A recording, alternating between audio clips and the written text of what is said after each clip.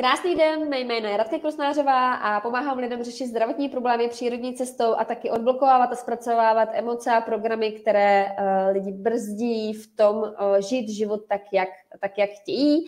A dneska tu mám uh, hostku Alenku Pospíšilu, která vlastně prošla programem Uvolnit, co tě brzdí a získej, co ti náleží. A požádala jsem ji, ona souhlasila, jsem moc šťastná, aby řekla i vám, jak se jí to líbilo, jak se jí změnil ten život, eh, jak vnímala před tím programem a po programu eh, ty změny a co, co se u ní prostě změnilo. Tak, Alenko, když tak jenom v krátkosti se představ třeba jenom, co děláš. Dobrý den, jsem Alča Pospíšilová a jsem asistent u starých a postižených lidí a někdy doučuju výtvarnou výchovu a angličtinu. Mm-hmm. A uh, hodně se změnilo v mém životě po tom kurzu a jsem uh, spokojenější a šťastnější člověk. Mm-hmm.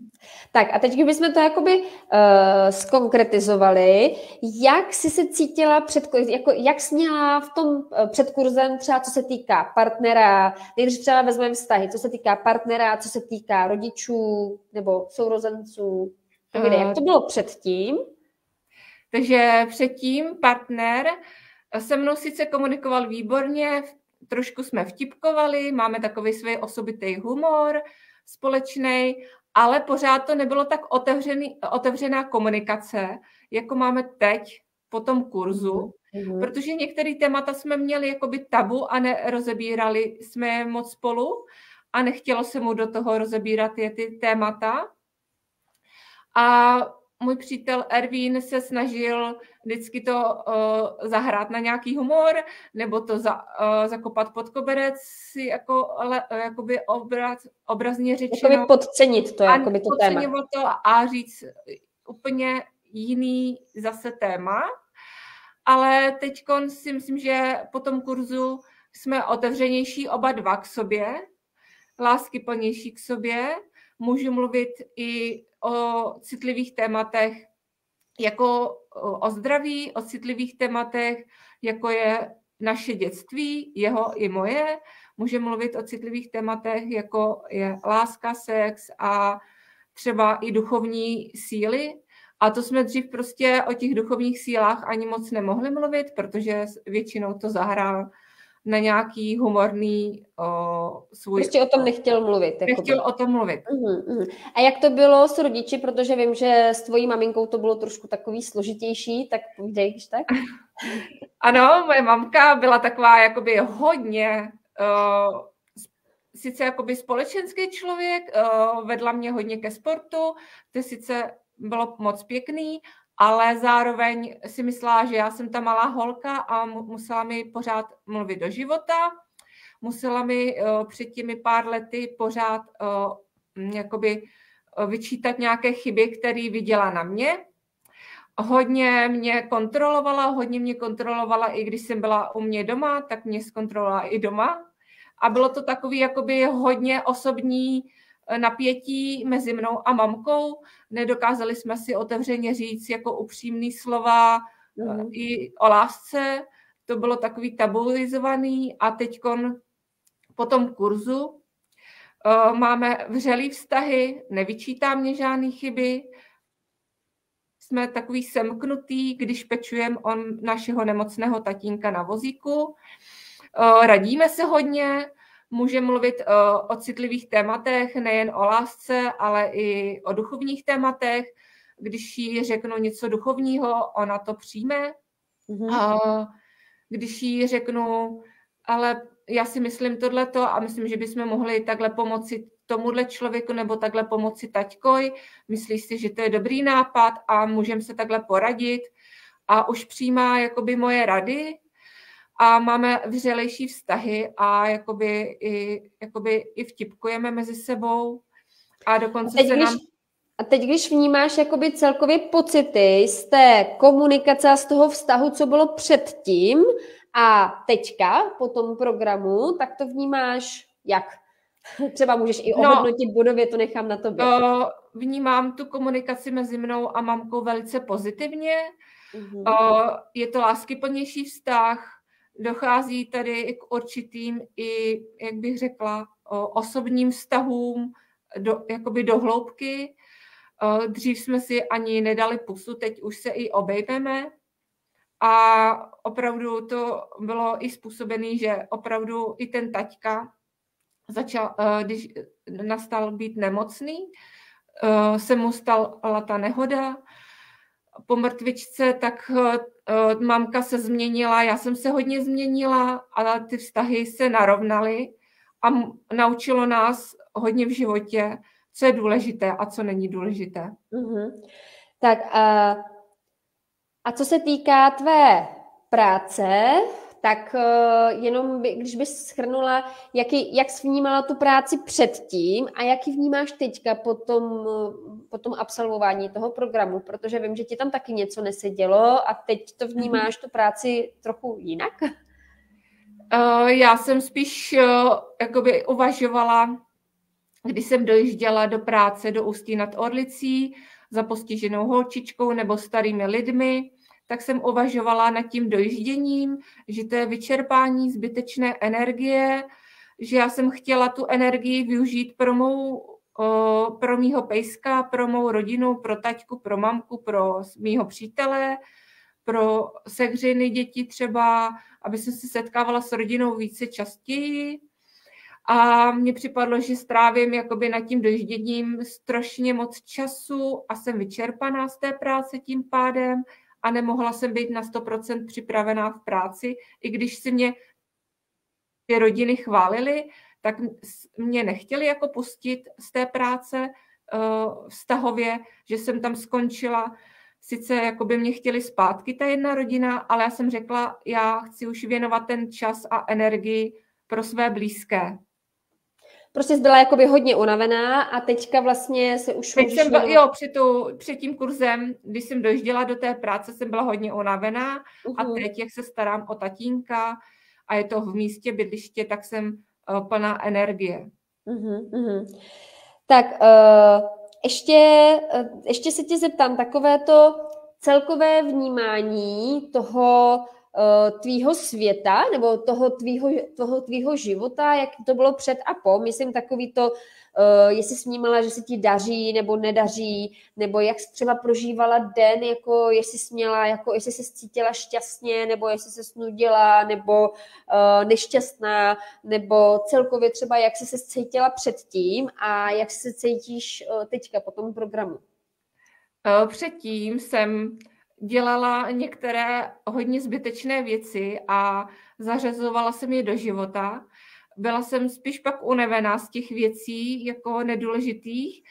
Teď po tom kurzu jsem se uvědomila hodně důležitých věcí díky tobě, Raduško, protože jsem o, vyřadila některé zbytečnosti ze života, o, srovnala jsem si hodnoty, napsala učila jsem si ty hodnoty. Učila jsem se podstatný. Učila jsem se postupně o, vy, vylepšovat svůj život v tom, že jsem si urovnala eh, nejen, co je důležitý a hodnotný, ale vůbec smysl života, pro co tady budu nadále žít a budu a s kterými lidmi se budu setkávat a s kterými ne, protože některý lidi mě eh, do života zavedli trošku negace a teď jsem se s těma lidma rozloučila a už eh, se cítím více energeticky nabitá a jsem eh, spokojenější člověk.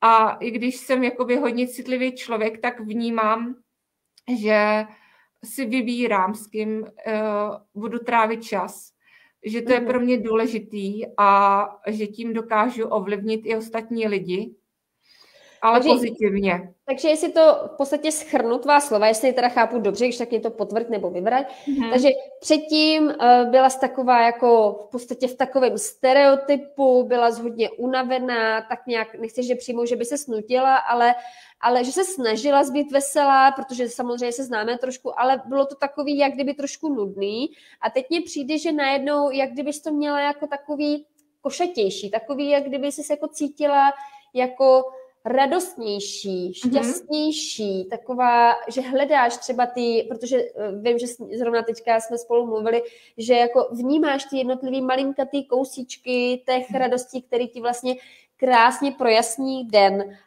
tak teď to říkám jako svými slovy, tak jenom by mě zajímalo, uh, jak to já, Ano, chápu. Uh, hlavně předtím jsem nedokázala moc pracovat s mými emocemi, a to jsi mě naučila hlavně ty. Dokážu být vděčná za maličkosti v životě, pak jsem šťastnější o to. Vím, co mě dělá, jakoby naplňuje v životě tou energií, tak dělám věci, co mě baví, dělám práci, co mě baví, jsem s lidmi, který mám moc ráda, s rodinou, vlastně s rodinnými členy, jsem s lidmi, kterým se potkávám s kamarády, eh, s kterým můžu důvěřovat, který mám ráda a opravdu mě to naplňuje v životě a s těmi emocemi už dokážu více pracovat. A potom tím pádem jsem šťastnější a je to vyzařuto i na svého partnera, takže jsme šťastnější i s tím partnerem. A dokonce i eh, se vyvíjí náš vztah dopředu, mluvíme spolu hodně a jsme otevřenější. A myslím, že jsem otevřenější a upřímnější i k ostatním lidem, což jsem nedokázala být předtím. Uhum, uhum, uhum, určitě. A teďka jenom v, tak jako v krátkosti schrnutí, jak ti celkově vyhovoval ten, to navržení toho programu, že to je třeba ta dvouhodinovka jednou za 14 dní, uh, jestli, jestli ti třeba vyhovalo, že jestli jsi to stíhala vlastně zařazovat do toho, uh, postupně do toho života, jestli ti to přišlo pomalý nebo ba naopak rychlý, jak ti to vyhovovalo, jako co se týká praxe a zařazení do života? Mně to vyhovovalo, tento styl kurzu, protože to bylo postupný krok po kroku, jsem se učila postupně míň informací za den a ne najednou hodně informací, protože já jsem takový člověk, který se učí krok po kroku a potom si to střebává pomalejc, což mě vyhovovalo v tom kurzu. Tím pádem já jsem se mohla jakoby emočně i připravit a emočně střebat všechny ty informace za ten den a následující den. A střebávala jsem ten kurz ještě potom delší dobu, a myslím, že tím pádem eh, to mělo svůj řád a pořádek a pro mě to bylo nejlepší. Mm, takže jsi to jakoby postupně pomalinku vždycky tu informaci, eh, jak teoreticky, tak vlastně i prakticky, co jsme odblokovali, tak vlastně jsi to zkoušela každých těch, nebo aspoň si snažila si na to vzpomenout a zkoušela si to těch 14 dní a tím pádem se to jako více eh, ukotvilo do tebe a i do praxe. Chápu to dobře? Ano, přesně tak. Já jsem si to začínala uvědomovat den poté. Já jsem si e, opakovala ty informace den poté, protože jsem střebávala e, vícero e, věcí najednou a nových věcí, což mě pomohlo k tomu, abych dělala mm, nové životní změny, což já mám nastaveno, že to dělám postupně. Jo, jo, určitě. To každý, každý to má nastavený, jak chce, ale uh, tak to jsem moc ráda. A ještě se poslední, nebo předposlední otázka. V čem ti přišel ten kurz jakoby úplně nejvíce praktický? Tady v tom třeba, co jsme teďka říkali, nebo v něčem jiném? Hlavně praktický, že dokážu ovládat lépe svoje emoce, což je založený nejen jako na mém charakteru, že jsem citlivější člověk a tím pádem dokážu lépe komunikovat s lidmi. Po tom kurzu jsem dokázala lépe komunikovat nejen s přáteli a i rodinou, ale i s cizími lidmi. Najednou se otevřely takové jakoby brány, jak bych to nazvala, že ty lidi se hlásili i ke mně a k mýmu pejskoji. Takže moje Amička byla takový jakoby vysílač a já jsem vysílala to pozitivní taky, tím pádem ty emoce přicházely jakoby postupně, se opravovaly a postupně jsem zjišťovala, že dokážu lépe ovládat své emoce. Uhum, uhum, uhum. To, je, to je dobře, to je super. Tak jo, perfektní. A ještě uh, nevím, jestli si vzpomeneš, jaký jsi měla vlastně vůbec očekávání do toho, kur, do toho kurzu, když jsi vstupovala, nebo do toho programu, uh, ale máš alespoň teďka pocit, že to očekávání, co jsi měla, jakoby ten důvod, proč si tam šla do toho programu, že byl naplněný?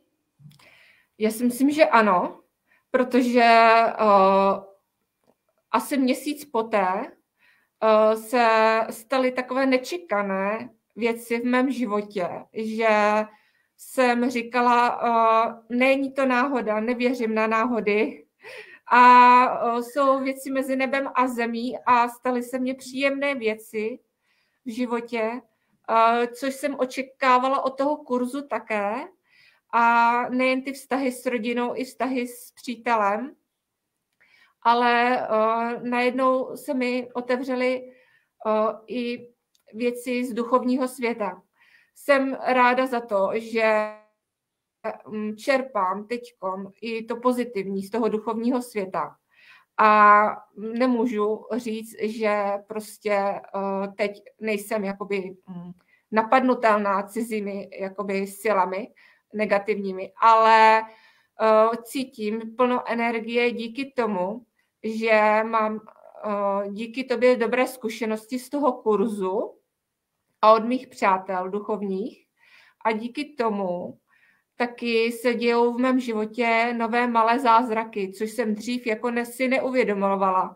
Ale ty malé nové zázraky se dějou v mém životě každý den, nejen s tím mým pejskem, ale i s těma ostatníma lidma, co mám v životě eh, na. Tak já jsem moc ráda, že to, a jsem moc vděčná, že jsi to teďka vlastně řekla, protože uh, já když totiž napíšu na, uh, na stránky, že se budou dít zázraky jako ve vašem životě, tak uh, některé lidi to možná můžou považovat za divný. A tady máte ve vlastních slovech uh, Alenky, jak uh, vlastně, že opravdu ty malé zázraky jsou a dějí se prostě, ale stačí vlastně jenom odblokovat a zpracovat ty emoce, které nás v tom brzdí a můžeme žít život tak, jak chceme a hlavně opravdu mít ten kvalitní, radostný život, který předpokládám, že chceme, uh, nebo alespoň vy, co na to koukáte tak uh, já vás zvu do programu Uvolni, co tě brzdí a získej, co ti náleží. Odkaz je buď to nahoru nad videem nebo dole pod videem.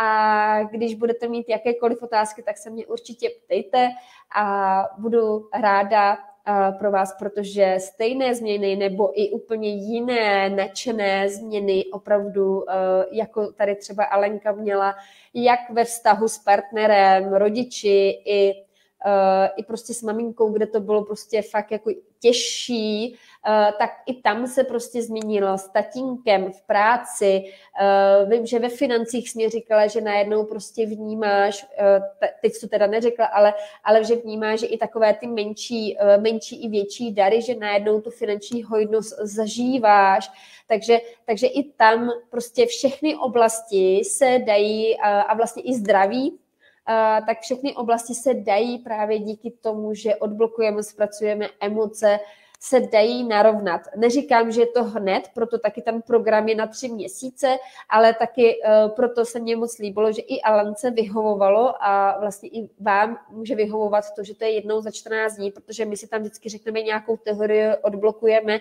a vy to potom těch 14 dní můžete zkoušet, pak na to navážeme a znovu a znovu a je to prostě postupné nasazování těch praktických, těch malinkatých praktických kroků, který vlastně vám nezabere v podstatě žádný čas, ale jde o to si na to opravdu se podívat, kouknout se i třeba z jiného úhlu pohledu a, a vnímat to prostě jinak a to na tom programu opravdu miluju, protože opravdu tam se to krásně odblokuje a zpracujeme a hlavně je to na denodenní bázi. Já sama miluju praxi, takže jsem i moc ráda, že i tady uh, vnímáte tu Eh, praktickou stránku, že opravdu se to tam dá a dá, není to rychlý, ale zároveň, zároveň to není ani pomalý, jo? že jako, uh, protože jde o každodenní maličkosti v životě a na to je potřeba prostě nějakou dobu ale přitom zároveň každý má svoji práci, každý má svůj osobní život a o to to je krásnější, protože všude v každé té oblasti to můžeme zkoušet, můžeme testovat a to je na tom to krásné. Takže kdo si chce zkvalitnit život a užít si plný hojnosti, radosti, štěstí, zdraví, krásných vztahů a zažívat ty zázraky v životě, jako tady právě Alenka krásně řekla, tak uh, určitě přihlaste se do programu Uvolni, co tě brzdí a získej, co ti náleží a já se na vás budu těšit uh, na živých vysílání a kdyby náhodou cokoliv se, byste se chtěli zeptat, tak se určitě ptejte. Uh, Alenko, chceš ještě na závěr něco dodat, komu by si třeba tady ten program uh, doporučila ty sama? Určitě bych doporučila lidi, kteří jsou nerozhodní ještě pro tenhle ten kurz, tak ať se rozhodnou pro tenhle ten kurz. Moc děkuji tobě, Raduško, protože mi to změnilo k lepšímu život. A chci poděkovat i uh, všem ostatním lidem třeba, kteří se na tom podíleli, nejen jakoby teoreticky, ale i prakticky, protože i který lidi to podstoupili, tak si myslím, že ty změny jsou veliké. Uh, nejen v mém životě, ale i kolem uh, toho člověka. Já vím, že teď se ke mně hlásí lidi, aniž bych to tušila, proč se ke mně hlásí pozitivněji lidi. A zároveň přitahuju takové lidi, kteří uh, si uh, vlastně do života chtěla jsem celý život přitáhnout. Myslím si, uh, že mám hodnotnější a plnohodnotnější život. I když nikdy člověk neví, koho potká, můžete, nemůžete se na to nikdy připravit, ale můžete si odblokovat věci, které umí Raduška odblokovat. A tím pádem si uh, vlastně uh, život upravit k tomu, abyste byli šťastnější a vyrovnanější člověk.